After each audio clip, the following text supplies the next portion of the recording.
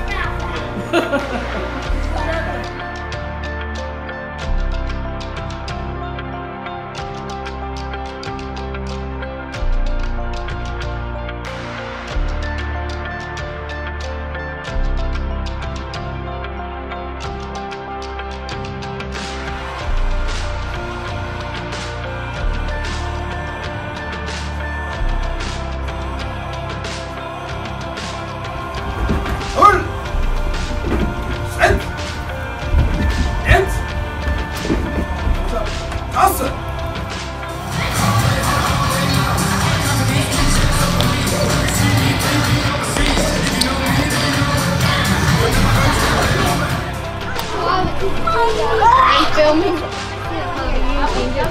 Cloudy bright.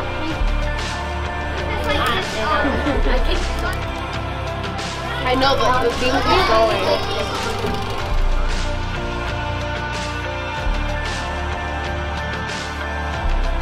the school system even harder now because I realize there are people there that are working like crazy to to not only teach in a classroom, but to open their eye, kids' eyes to other things that are out there that they may know, not even know exist. Exactly. So, well, listen, I'm going to let you go, but thank you so much, and be sure they know that there's a grandma that really appreciates them.